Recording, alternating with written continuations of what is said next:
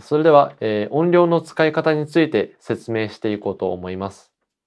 えー、まず、えー、フォルテ、シンフォニックな大きなサウンドについて、え自分の日頃行っているトレーニングをしていこうと思います。その前に大きい音を吹くときは要になるのは息のコントロールになります。そこで、えこういう A4 の、え紙を、えー、ぜひ用意してみてください。これを自分の。